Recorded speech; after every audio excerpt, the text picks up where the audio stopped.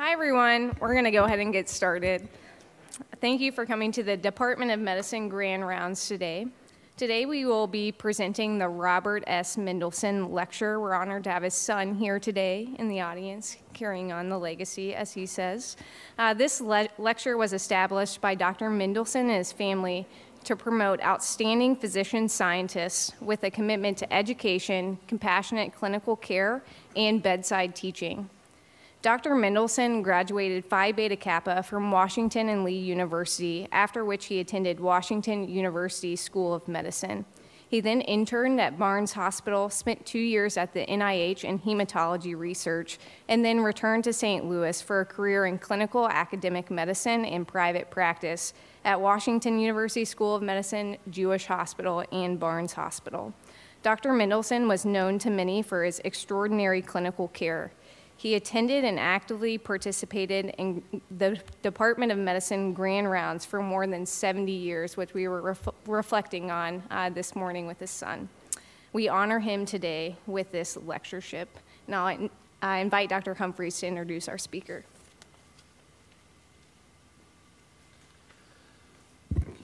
Okay, well, good morning, and again, it's wonderful to have you here, Dr. Mendelson, for the Mendelson Lectureship, and it's really a pleasure and privilege for me to introduce Dr. Nisha Bansal, our uh, visiting professor and speaker this morning.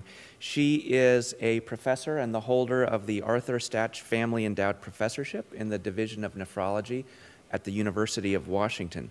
She is also an investigator in the Kidney Research Institute, the director of nephrology clinical research education, and the director of the Kidney Heart Service at UW, and we'll be hearing more about that today. It's a very exciting uh, innovative service.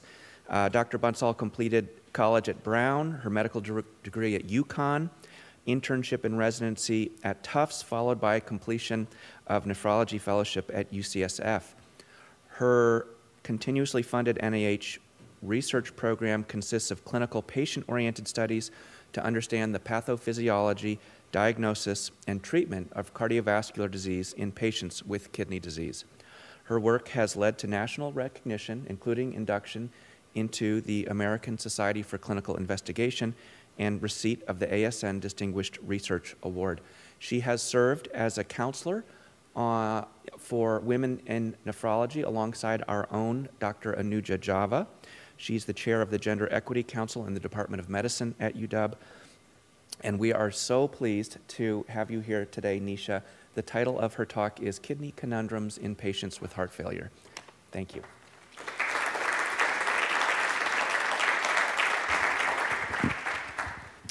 Thank you so much for that kind introduction, and it's truly, truly an honor to be here to honor Dr. Mendelsohn, and I'm especially delighted that his son, Dr. Mendelsohn, is also here as a cardiologist, so um, thank you again for the invitation. So today, the title of my talk is Kidney Conundrums in Patients with um, Heart Failure. These are my disclosures. And so I'd like to start with a patient case that's probably very common to most people in the, this audience that highlights several of these kidney conundrums that we encounter in patients with heart failure. So we have a 64 year old gentleman with chronic kidney disease. The cause of his CKD is polycystic kidney disease. His um, estimated GFR is 37. He has minimal proteinuria, and he presents with new dyspnea on exertion and lower extremity edema. So the first question or conundrum I'm going to pose to you is, what is the likelihood that this patient has heart failure, or is his presentation simply related to his chronic kidney disease? He then gets admitted for evaluation of his dyspnea on exertion and possible heart failure. They measure an NT-proBNP, comes back elevated. Does this measurement of his NT-proBNP actually help you in the diagnosis of his heart failure? Finally, he's admitted. He begins diuresis with furosemide. Um, his weight decreases by one kilogram. However, his creatinine bumps um, from 2.2 to 2.6. The last uh, conundrum that we're going to discuss today is well, should we stop his diuretics given his acute kidney injury? So, um, hopefully, over the next uh, 40 minutes or so, we'll be able to answer these clinical conundrums that we see frequently in patients with heart failure. So, today we'll discuss the epidemiology of heart failure in patients with kidney disease, uh, talk about how to interpret cardiac biomarkers in this population, um, acute kidney injury and diuretic management in these patients who are hospitalized with heart failure. And finally, I'll spend a little time telling you about this new service we launched about three years ago. It's called the Kidney Heart Service, which is a specialized cardio-nephrology service. So to start off with, so unfortunately for patients who have chronic kidney disease, they're at high risk for poor outcomes. We know that they're at high risk for losing their progressive loss of kidney function, leading to end-stage kidney disease, requiring dialysis or a kidney transplant. But in fact, um, their competing risk of death from cardiovascular causes outweighs this risk of progression to end-stage kidney disease, which prompted my interest in studying this further. And if you think about the types of cardiovascular disease that patients with kidney disease are suffering from, heart failure is one of the most common types of cardiovascular disease seen in this patient population. We actually looked at this in collaboration with Dr. Ian de Boer, nephrologist also at University of Washington, in which we studied 18,000 community-based um, participants, and we compared those with versus without CKD. Those with CKD are those with the light gray bars, those without CKD are the dark gray bars. And what we did is we looked at the rates of heart failure, coronary heart disease, and stroke. Um, and you can see that the height of the light gray bars are significantly higher than the dark gray, suggesting that patients with kidney disease have higher rates of all these types of cardiovascular endpoints. However, particularly the difference between the two bars is greatest for heart failure and coronary heart disease, suggesting that the excess risk of cardiovascular disease in CKD patients is largely explained by heart failure and coronary heart disease. And I think this is an important, this was an important piece of data that we had from 2017 because the conversation up until then was really focused on coronary heart disease and less so on heart failure risk reduction in patients with CKD. And in fact, national data from the U United States Renal Data System also has looked at the cumulative incidence of heart failure in over three years in patients who have chronic kidney disease, denoted by the, the blue line, um, as well as those treated with hemodialysis and peritoneal dialysis. And you can see from this figure that the cumulative incidence of heart failure over three years is as high as 60% in patients um, with kidney disease. So clearly, this is a huge problem. And so, why are we seeing so much heart failure in patients with kidney disease? I would say it's complicated. Uh, you know, there's a very complex bidirectional relationship linking these two disease states. And, you know, simplistically thinking, I think about three buckets of mechanisms. Um, the first is certainly hemodynamic.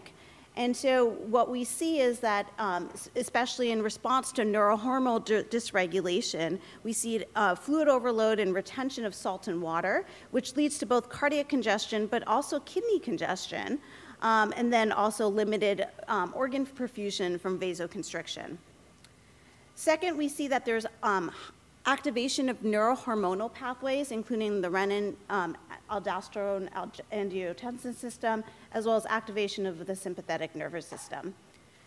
And then finally, there's a mixed bag of mechanisms which remain incompletely elucidated, but include um, inflammatory markers, um, malnutrition, importantly in our patients, disorders of bone mineral metabolism, phosphorus, vitamin D, and PTH, acid base, and certainly anemia. And so, why do we care so much about heart failure? We know that patients who have CKD and heart failure don't do well, unfortunately. They have poor clinical outcomes. And this is a study that we published several years ago in collaboration with Dr. Alan Go over at Kaiser and one of the PIs of the chronic renal insufficiency cohort study, in which we studied 4,000 patients who had CKD, and we first started looking at rates of heart failure hospitalizations. And it was um, astounding to us that there were patients in the study that had up to 17 heart failure hospitalizations within a single year. Um, so spending more time in the hospital in some ways than at home. And when we looked at the rate of heart failure hospitalizations, we found that it was about tenfold higher in patients with CKD compared to those without CKD. And even if they were um, left the hospital, about a quarter of them did come back within 30 days for recurrent heart failure. And when we looked across levels of kidney function, we found very strong relationships between lower EGFR and higher urine ACR with these rates of heart failure hospitalizations. We then looked at whether um, the number of times a patient is hospitalized actually portends a poor prognosis in terms of risk of loss of kidney function as well as death. And what we saw was that in patients who had one or more heart failure hospitalizations, that they had um, almost twofold higher risk of decline of EGFR by 50% or development of kidney failure. When we looked at mortality, again, we saw that those patients who had one or more heart failure hospitalizations per year had two to threefold higher risk of dying. So, knowing how, how poor some of these patients do, it's really important to think about how we diagnose heart failure in persons who have chronic kidney disease. And so, heart failure does remain largely a clinical diagnosis. You start with symptoms and think about symptoms or signs that are suggestive of heart failure before um, pursuing um, additional testing. And I'll just say that this is pretty tricky to do in a patient who has chronic kidney disease. So these are, um, you know, heart failure in the middle, and these are three types of symptom categories that you see frequently in patients with heart failure dyspnea, fatigue, and edema and, and volume overload. And I can tell you as a nephrologist that it feels like every single one of my CKD patients has these symptoms, and it's true that there is a lot of overlap in terms of symptomology between these two disease states, which makes it hard to distinguish between what's really going on. However, I would urge you not to ignore symptoms um, that could be suggestive of heart failure, as they're often missed, and studies have shown that, in fact, that they do have prognostic significance in terms of future development of heart failure. And so this is a study I really like in which they, uh, they use the Kansas City Cardiomyopathy Score, which is a validated survey instrument which assesses early heart failure symptoms and quality of life.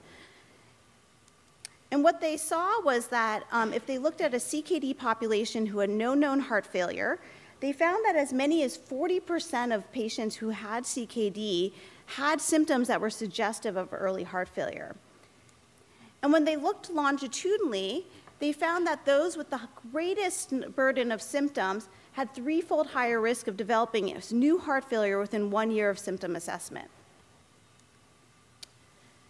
And so, to summarize what we've discussed so far, I've shown you data that heart failure develops in 40 to 60% of patients with kidney disease, um, and due to various mechanisms, including hemodynamic, neurohormonal, and others. Development of heart failure is associated with poor clinical outcomes in our patients, including loss of kidney function and death.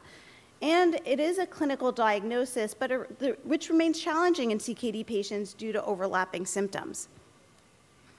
And so, coming back to our patient, the first question or conundrum I posed to you is well, what is the likelihood that this patient has heart failure, or should we assume his symptoms are from CKD? I would say that there's, given the lifetime incidence of heart failure, there's a very high likelihood, and I would say he certainly deserves further workup. So again, he gets admitted to our hospital um, for evaluation, and his NT-proBNP comes back as elevated. So how do we interpret cardiac biomarkers in patients with kidney disease? So, as um, some of you may know, um, natriuretic peptides, which include brain natriuretic peptide and N terminal pro brain natriuretic peptide, um, are frequently measured in the hospitalized setting. And uh, basically what happens is in the setting of myocardial stretch, there's activation of the brain natriuretic peptide gene, which leads to the expression of the protein, and it, which is eventually cleaved into two forms, the biologically inactive NT-proBNP and the, and the active metabolite and brain natriuretic peptide. And the downstream effects of this protein is that it counteracts the, the RAS system and leads eventually to natriuresis and diuresis. And natriuretic peptides are used almost universally in the management of both acute and chronic heart failure. And this is just a snapshot of um, several guideline um, groups which really endorse use of natriuretic peptides for the diagnosis and management of heart failure. So, what about in CKD patients? And so, this is um, unpublished work by one of my fellows, Dr. Zemke, in which we took a new heart failure staging criteria that was published recently um, which now includes measurement of, anti, of natriuretic peptides to stage patients with heart failure. And so we asked the question, well, how does this affect our CKD patients? And what we found is that using these new heart failure criteria, that up now 63% of patients who have chronic kidney disease are considered to have heart failure.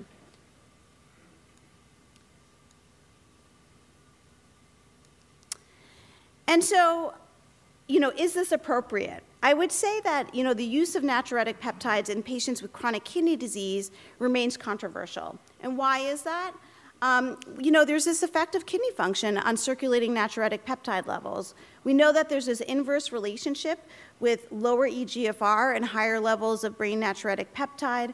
And the question always arises, were are elevations in these biomarkers simply due to impaired kidney function, or do they reflect true cardiac pathology? And so this is a study that I really love that was done quite a while ago now, but they took 165 patients who were undergoing renal arteriography and actually measured renal vein and renal artery concentrations of BNP and NT-proBNP to look at the fractional excretion of these, of these circulating markers. And so here we have two figures. The top one is looking at NT-proBNP, uh, BNP, and the bottom one is looking at NT-proBNP. And the first thing that, and, and along the x-axis here, you have GFR, and along the y-axis, you have the fractional excretion of the, of the biomarker. And what you see here first is that these two cur curves, if you compare them, look fairly similar, suggest suggesting similar fractional excretions of both BNP and NT-proBNP. And then when you look at the fractional excretions, you can see that they range anywhere from 0.2 to about 0.3, which is fairly modest. And so I would say that elevations in NT-proBNP and BNP are explained in part by reduced kidney clearance, but not entirely. And our group has also shown that these the elevations in these biomarkers are in fact prognostic in patients with chronic kidney disease. This is work that's led by Dr. Leila Zelnick, who's a biostatistician at the University of Washington who works with me. And we looked at the we looked at a stable ambulatory cohort of CKD patients, and we looked at you know whether measured NT-proBNP actually predicted outcomes. And what we saw was that the high, those patients with the highest levels of NT-proBNP were more, much more likely to experience heart failure. And then we actually compared the prognostic value of a single biomarker measurement to an echocardiogram and found that they had similar performance. So what about in the acute setting? In the acute setting, um, you know, it does remain tough because patient comes in with dyspnea and exertion. Um, NT-proBNP is used to rule in or rule out heart failure as well. And so this is a study in which they looked at 600 patients who are presenting to the emergency department with dyspnea, and they compared those with versus without CKD and the sensitivity and specificity of measuring an NT-proBNP level to rule in or rule out heart failure. And what they found was that one of the top line represents the patients without CKD, the bottom line those with CKD, and the closer you are to the top, this is our um, ROC curve, the better the performance of the biomarker. And what we see here is actually that they, these two curves look fairly similar. So the performance of using this biomarker in the acute setting was um, pretty comparable in patients with CKD versus without. However, what they did note was that the levels that were used to rule in or rule out disease differed between those with CKD versus without, with that, those with CKD requiring a level of almost 1,200 versus 450. And so this brings into question, so if we know that um, these biomarkers can be used to rule in or rule out disease, can we apply the same thresholds we're using in the general population in patients with CKD? And so we tried, we looked at this, in fact, and we took a threshold of an NT-proBNP of 125, which is what's used clinically to rule in or rule out heart failure, and we applied it to a stable, asymptomatic, ambulatory CKD population, and we found that just applying this threshold to these patients who are unlikely to have acute heart failure, 40% of them would have ruled in for heart acute heart failure. So from that work, we, you know, it's probably unlikely that we can apply the same thresholds we're using in non-CKD patients to those with CKD. And so we went um, and decided we're going to try to develop our own thresholds for these biomarkers that we can use clinically. And so we did this using a very uh, tr- tried and true laboratory medicine method where we look at normal distributions of the biomarkers in healthy individuals. And so what we found was that um, a value of about a thousand um, seemed to be um, it was the 95th percent of distribution um, for uh, for the levels of NT-proBNP in a healthy CKD ambulatory population. We also validated this externally and found that this threshold worked pretty well, um, you know, in terms of ruling in and ruling out disease. But prospective validation is still wor- needed to bring this to market, I would say, to bring this into the clinical setting, which is ongoing. So, what do we do until then?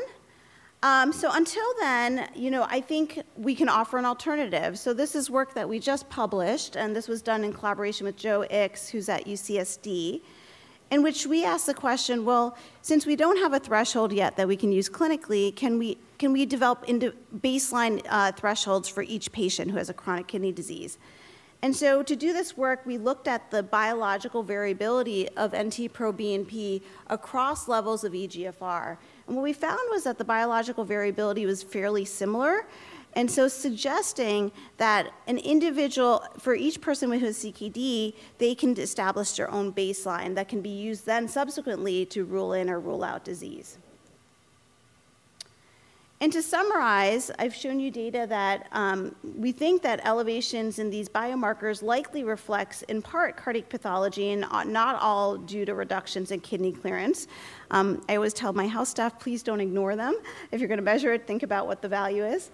Um, elevations in these biomarkers are associated with higher risk of heart failure. However, it is unlikely that we can use traditional cutoffs in patients with CKD, and we need some further work to actually um, move this into the clinical setting. But in the interim, I think that we can establish baseline levels of bi- these biomarkers during asymptomatic ambulatory states that can help guide our management um, for future events in patients with CKD.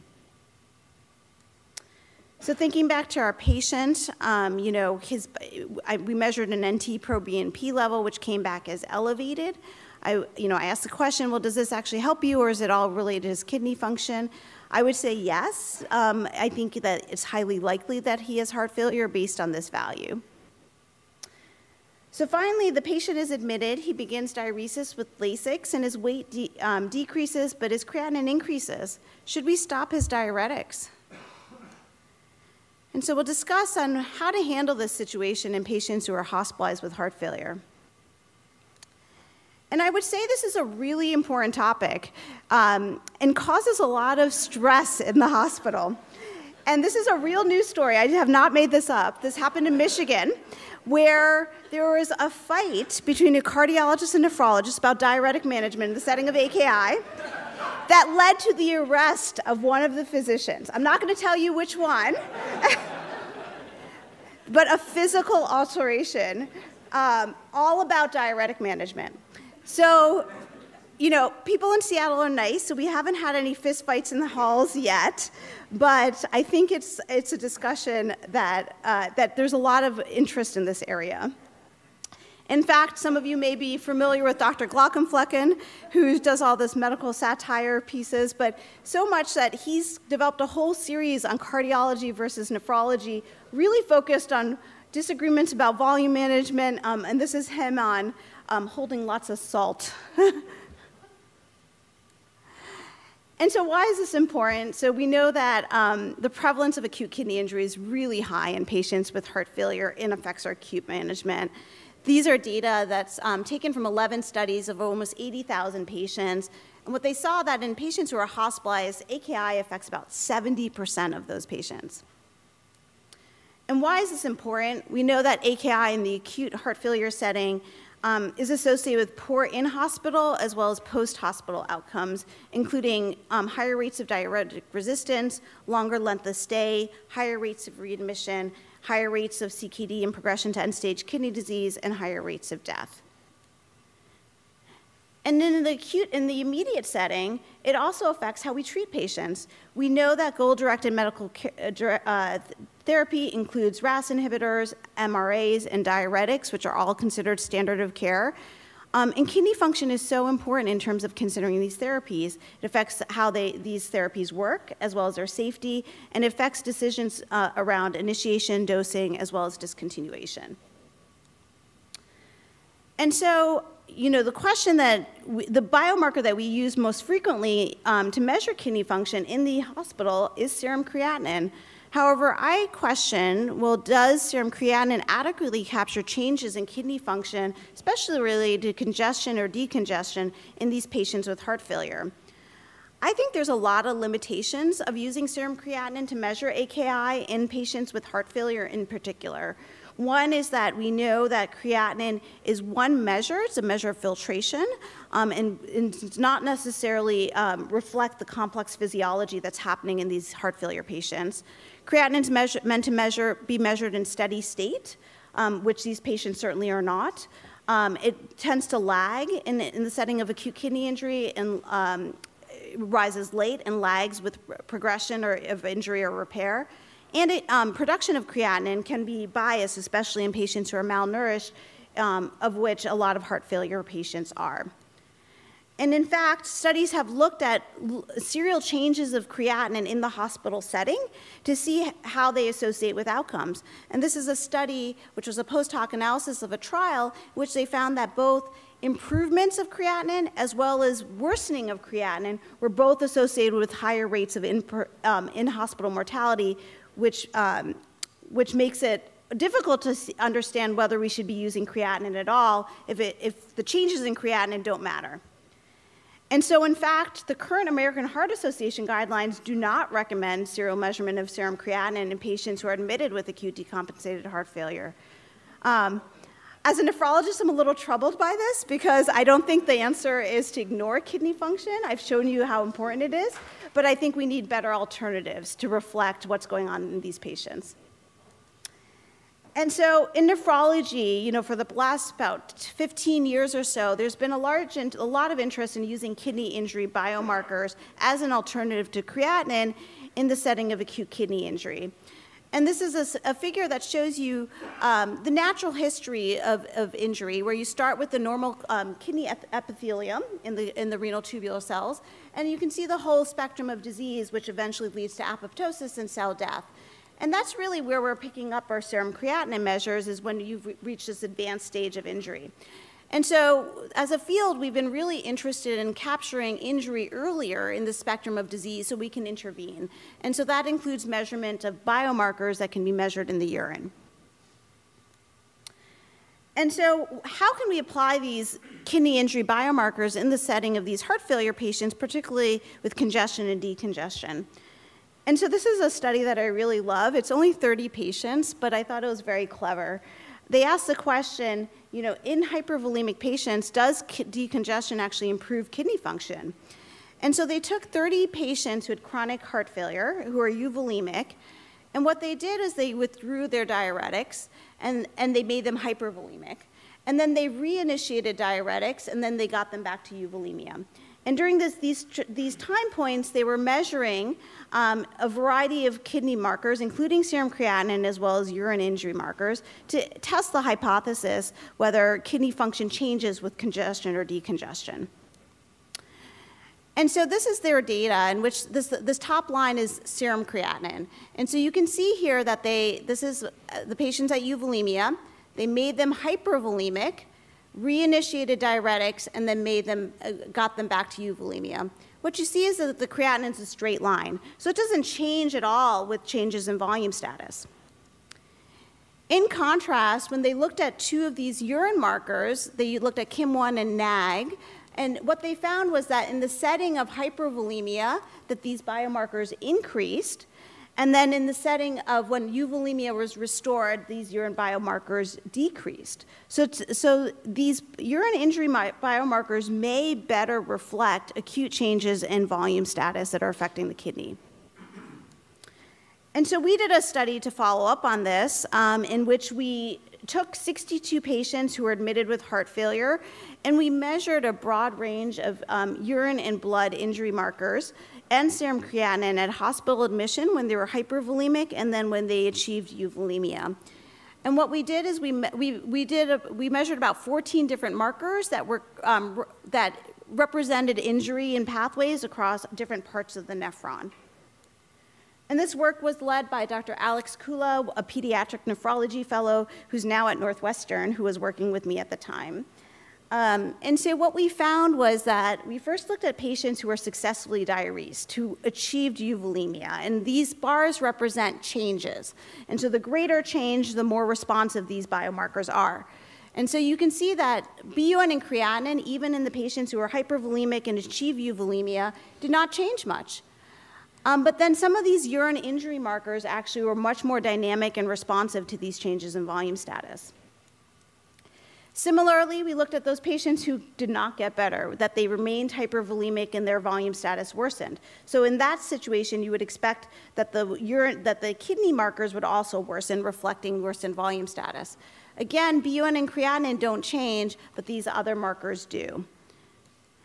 And so from this pilot study, we thought that you know this was very interesting that the urine kidney injury markers were more dynamic and potentially better reflected changes in volume status especially compared with uh, serum creatinine. And so we're actually doing a follow-up study right now um, in which it's called the kind hf um, study the kidney injury and decompensated heart failure study. And the goal of this study is to follow up on the pilot study it's to identify kidney injury markers that can guide diuretic and heart failure management in the short term and better predict long term kidney and cardiovascular outcomes. And um, to do this study, we are recruiting 400 patients um, who are hospitalized with heart failure at UW. Um, and we actually just recruited our 400th patient, so I'm very excited. Um, and we are uh, measuring serial measures of lots of different kidney markers um, during their hospitalization and once they leave the hospital. And we're also doing a lot of in depth analysis and data collection on systemic markers of, volume, of congestion. So we're doing um, research level echocardiograms, right heart catheterizations, point of care ultrasounds, including lung ultrasound and venous excess ultrasounds, weights, INOs, and validated symptom scores. And we're looking at changes in all these measures, particularly as they relate to kidney function, um, and, as well as systemic congestion. We also follow these patients long term. We follow them up to a year and look, and we're also measuring their kidney function as well as changes in their volume status and their heart failure status. So uh, what, what we've discussed so far in terms of AKI and diuretic management in patients with heart failure, we've seen that AKI fr occurs frequently in heart failure patients. Kidney function is critical in the short term um, treatment as well as prognosis of heart failure. I believe that serum creatinine is not our best biomarker to guide heart failure treatment, particularly to reflect acute changes in volume status, congestion, and decongestion. Um, I think that there is some promise in thinking about alternative measures of kidney function that can be used in this setting, particularly those that are measured in the urine, um, but more data is coming. So for this patient who was admitted, he was diuresed, had sort of a, I would say, a suboptimal diuretic response, but his weight did decrease some. Um, his creatinine increased. I absolutely would not stop his diuretics. I think he's still volume overloaded. I don't think I believe the creatinine, and we should keep going. So finally, um, you know, if this patient was in Seattle, he would probably be co-managed by this service that we've launched about three years ago. It's called the Kidney Heart Service. And so I'll just take a few minutes to tell you a little about um, what we've been doing in Seattle in this space. So why did we do this? So why cardionephrology care models? So I think we can agree that the interface between cardiology and nephrology continues to expand. This is a very large and growing population of patients affected with both diseases. And really, um, we're at a time where there's a lot of therapies as well as diagnostics that are, are bringing these two specialties together. SGLT2 inhibitors are just one example. Um, and we felt that there was a need for unique expertise that may not be addressed by training in individual specialties alone. And so we started looking at our data in Seattle to see, you know, how are patients with, um, with heart failure in particular doing? And so when we looked at our own um, UW data, we found that in, uh, we had about 1,000 heart failure hospitalizations, unique heart failure patients a year. And of those, 65% of them were, had um, concomitant AKI, so a lot of patients. And then when we looked at those specifically who were receiving mechanical circulatory support, um, 40% of them required acute dialysis. Um, and then we looked at the average length of stay, the death rate, and the readmit rate. And what we saw was that in patients who, with heart failure with AKI, their length of stay was 17 versus 6. In those without AKI, their death rate was significantly higher, and they were more likely to be readmitted within 30 days. And so, given how, how acute these patients were and the overlap between kidney and heart disease that we were seeing, we decided to launch, this new service, which was called the Kidney Heart Service, KHS, which we launched bravely August 2020 in the middle of the COVID-19 pandemic. Um, and so it was, it's, initially we staffed it with three nephrology attendings, um, Dr. Nayan Arora, myself, and David um, Mariuma. And this was really spearheaded in the vision of my division chief at the time, Dr. Stuart Shankland. And so the mission of this new service was threefold. Clinically, we were hoping to provide exceptional, coordinated, multidisciplinary care, as well as develop new innovations that would improve their clinical outcomes. Two, to provide educational opportunities for trainees um, to learn about the specialized care of kidney and heart disease. And three, from a research perspective, to build a foundation for scholarship, including quality improvement and research. And so, what did we do? So, first, in terms of clinical innovations, um, the nephrology attendings, we all developed an expertise in hemodynamics, and particularly in cardiovascular devices, and um, including mechanical cir circulatory sport, support. We also all trained in point of care ultrasound to help with our volume assessment. And I think one of the most exciting things that we've done, which was truly collaborative, is that we developed this diuretic protocol to really think about how we're diuresing patients, particularly when, in those who are diuretic resistant. And so, what does our diuretic protocol do? It provides guidance on starting doses and how to titrate diuretics, applies objective measures to assess response, and then it also provides direction on when and how to utilize adjunctive therapies with the goal of achieving sequential nephron blockade. So I'll just take a moment to walk you through the diuretic protocol on a high level, just so you can see what it looks like. And so the step, first step is we think about well, how, what is the how should a patient um, be diuresed? What is the initial dose? And so we start by um, we take their outpatient dose of diuretics and we we increase it by 2.5 times, and we give guidance on both IV bolus um, as well as infusion dosing of a loop diuretic. We then, step two, is we really focus on how to assess response. So, you know, of course, we're looking at weights and I's and O's, but one thing that we've done is really move to spot urine sodium assessments one to two hours after diuretic administration. So, why are we doing this? So, you know, it's challenging. I think we've all seen that weights are tough to get in the hospital for some reason. I don't understand why, but they're never accurate or they're just not done.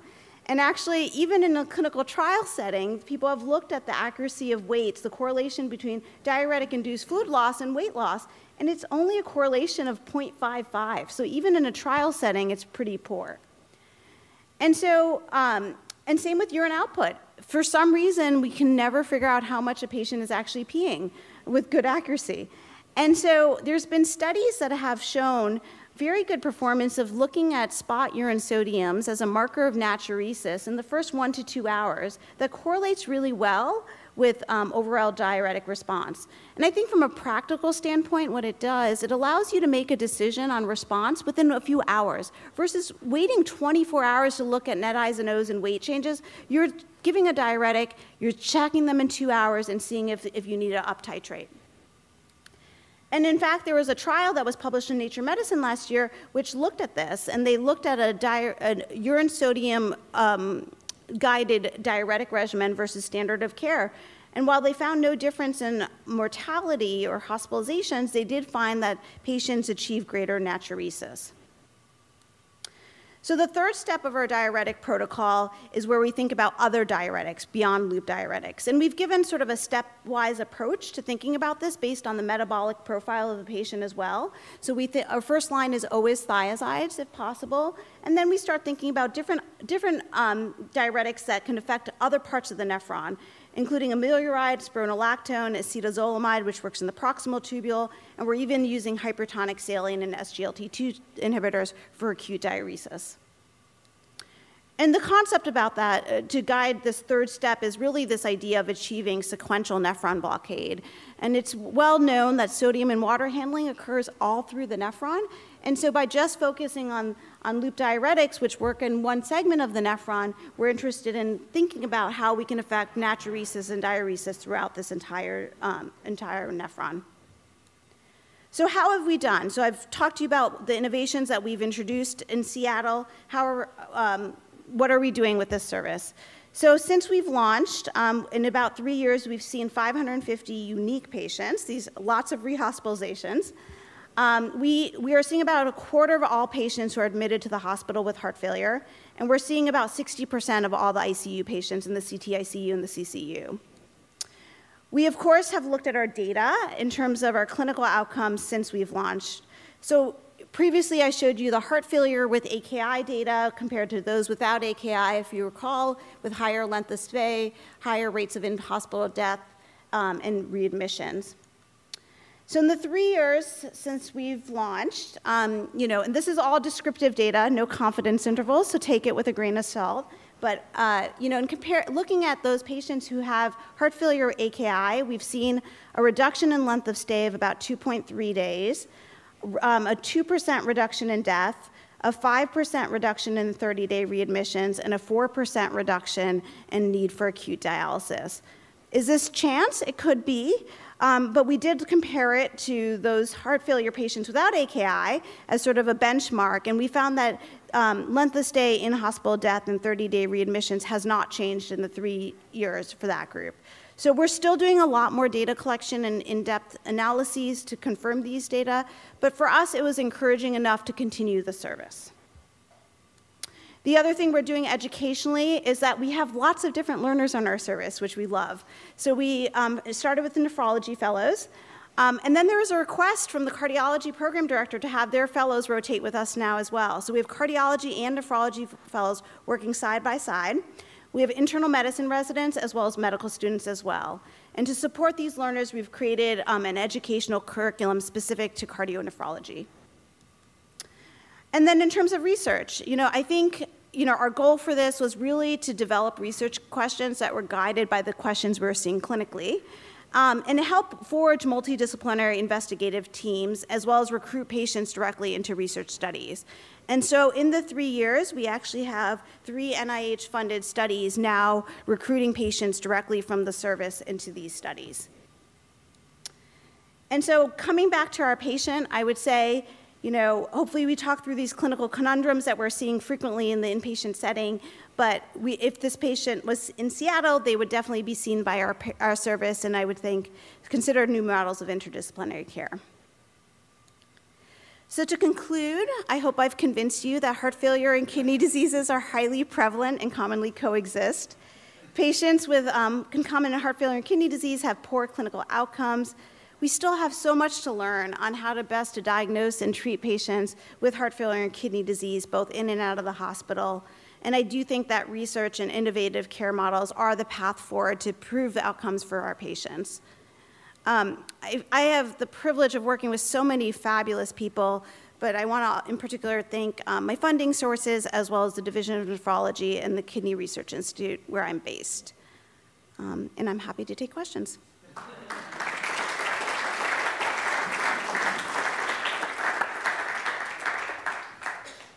Nisha, thank you so much for that uh, really terrific presentation and innovative new service. And I'll just start before taking questions from the audience. Um, many of us on the renal consult service, when we get a cardio-renal consult, kind of, uh, you know, Your body language yeah, says it all. Just, like, oh, you know, I hope this is not a negative, you know, interaction. And, and obviously, if you're having cardiology fellows rotate with you, you've been able to change the dynamic. Can you speak to how this kidney heart service is more collaborative than kind of antagonistic? Yeah, great question. Uh, so I would say that's been a huge, it's been a huge culture change. All of a sudden, they see um, the small group of attendings that are us, and they trust us. We've built, we've proved to them that we care, we know what we're doing, and it's just built this, this structure of bidirectional learning, complete trust, and um, camaraderie. It's, it's fun. It's fun seeing patients together. We're collaborating, we're teaching each other, and I think that level of trust um, has made a huge difference, even with surgery. Um, in particular, I think that was always very difficult, cardiothoracic surgery um, interactions. And now, um, you know, the, the chief of cardiothoracic surgery calls me up all the time to run patient cases and get my opinion. I mean, it's, it's wonderful. Um, So, uh, great talk, Nisha. I really enjoyed it, and I love this idea of using urinary biomarkers because Yeah. creatinine is such a poor, um, you know, marker to follow during the patient's inpatient stay. I'm wondering if that could also help us, not just with diuretic response or sort of volume status, but also look at um, response to SGLT2 Yeah. inhibitors and RAS inhibition reinitiation. Because it seems like there's emerging data that these are important, but I know there's a lot of um, concern or unease with when to put them on and, and what the timing is. Do you think that these biomarkers could help us guide the ther- those therapies? Yeah, great question. So, you know, frequently with um, initiation of SGLT2s and RAS inhibitors, we see this EGFR dip, I call it. I don't like calling it AKI because we see this temporary decline in EGFR, which actually in studies have, has shown in the long term to be protective.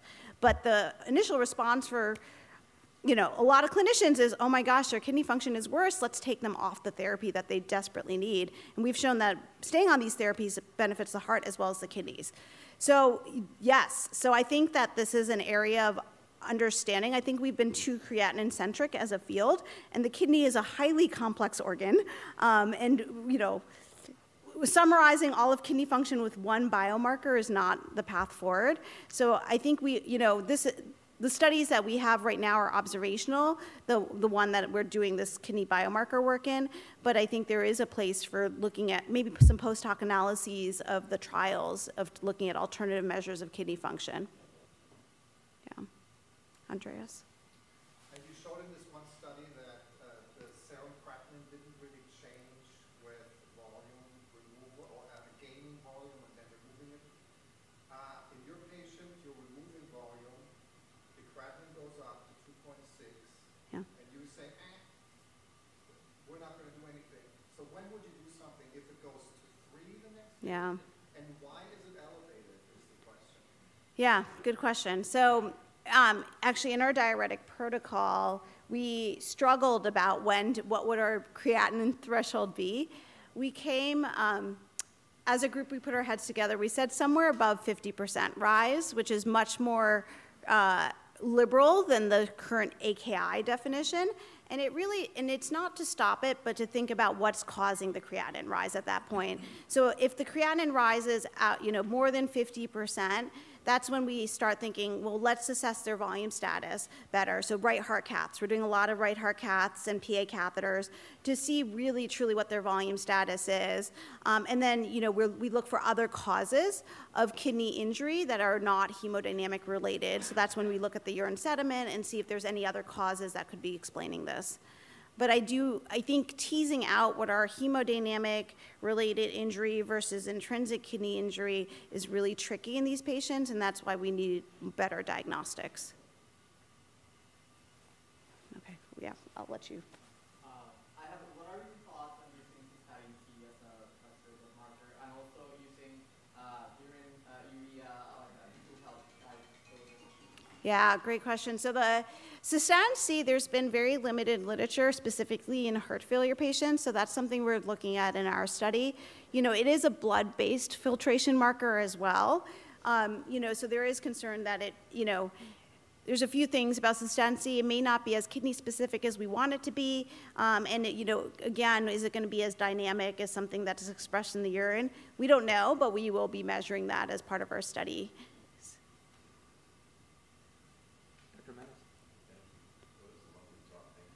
Thank you.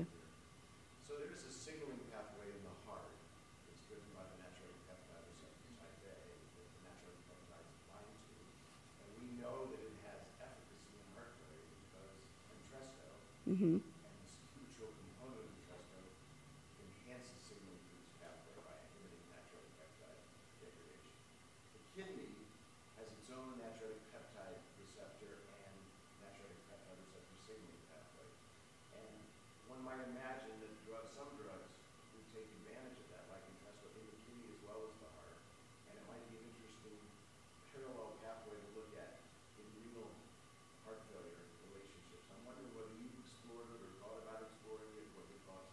Yeah, um, so you know, the Entresto data is interesting. So there's been a few studies that have looked at kidney outcomes in those patients to see what it actually does with kidney disease.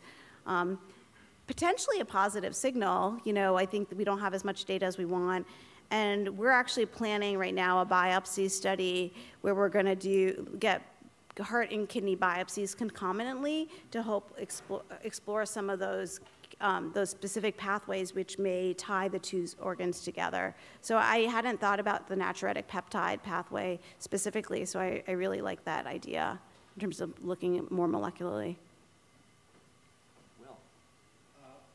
There's uh, so, abundant data looking at the uh, the benefits of SGLT2 inhibitors and the operatic uh, effects show that there's threefold greater reduction in heart failure. So in terms of that, uh, uh, uh, care, you know, uh, clinical path, clinical guidelines, even without the biological markers, where are you in, in telling your fellows, uh, nephrology or cardiology fellows, let's go with SGLT2 inhibitors in the first phase of treatment?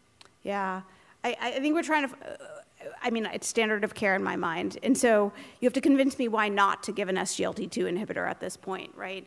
I think um, in the acute setting, you know, we often hold off if we think they're not going to be eating or there's going to, you know, there's some um, concern about, you know, intake, you know, in the acute setting. But we're trying to get almost everybody on SGLT2 inhibitors in the hospital, and certainly in the clinic. I think it's become um, the barriers are decreasing. I think. Uh, you know, what we're seeing, I think the biggest barrier is you start it and you have this EGFR dip, and that's when people get nervous and take people off of it. And so we're really trying to push people through not to take, to not, not only to start it, but not to stop it. So I think there's a few barriers in terms of implementation.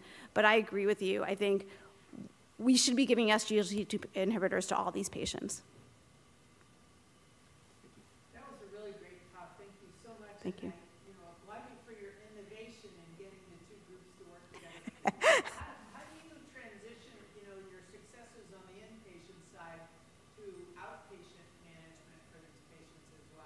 Yeah, great question. So actually, um, in July, we're launching an outpatient clinic that's going to be co-staffed by, it's a cardio-nephrology clinic.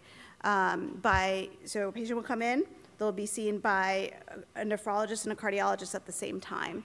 And so, you know, we wanted to get this sort of under our belt first to see what the success was before launching the outpatient portion of it. Um, and that, that outpatient model is going to be very consultative. So the point is, not, you know, a lot of outpatient, um, you know, transitions of care from the inpatient setting to outpatient, and then consultation, and then we hope to send people back to their referring nephrologist or cardiologist. But we're exploring this outpatient model this summer, so we'll see how it goes. Last question. So great talk. Uh, so I'm one of the advanced heart failure uh, attendees who's here uh, listening to this. And so um, I would also agree that probably when we consult nephrology and most of these cardiorenal patients, we do it to figure out what not to do. um, and it's always a bit of a, a, a, an argument about what's really going on with the volume levels. But two sort of more practical questions for you. You mentioned a lot about the concerns regarding the use of GDMT. And so when somebody comes in with acute heart failure, what guidance do you give about whether you should stop things like Entresto, Losartan, agents that actually have a beneficial hemodynamic and Yep. impact that might be better, even if their creatinine is a little bit up from their baseline? Then the other question, which is a little more challenging, is when do you consider ultrafiltration? This is another area we argue quite a bit about. When is not enough volume out causing further problems, and we need to get more aggressive. So Yeah, again, thanks, great talk. yeah. Love the idea of bringing. we can all be friends. Um, so GDMT. So we don't stop RAS inhibition. I mean, uh, you know, or GDMT because, like you said, you know, there's activation of neurohormonal pathways. Why would I stop a therapy that is actually affecting that, and that's, you know, the activation of neurohormonal pathways are affecting both the kidney and the heart function. So we, our practice is not to stop them um, unless there's a good reason to. It's not a reflux, the creatinine's up and we stop them. And I think that's been a big change in management, you know, having groups of people that we all talk and standardize our care has been a, a huge um, advance, I think, in the care of these patients. You don't have the revolving door of attendings coming in, one person does one thing, and another person does another. Um, and your second question is about ultrafiltration. So we actually, ultrafiltration is like step eight on our diuretic protocol. So I firmly believe that if a patient can pee, we get them to pee and we don't ultrafiltrate. And so we are very, and I, and actually with our service, we've seen a reduction in need for acute dialysis, about 4% over those three years. And I think it's because we get involved earlier, we think about diuretic resistance differently, and we really try this sequential nephron blockade. And I think it's successful. If we can really focus on how best to diurese them, we can avoid ultrafiltration. It's truly the last resort. Um, I don't think it's good for the patient. I don't think it's good for anyone. And so, yeah, I mean, we do ultrafiltrate. There's times that you need it, but it, you know, we're, we're much more conservative about it. Thank you so much, Nisha, for a wonderful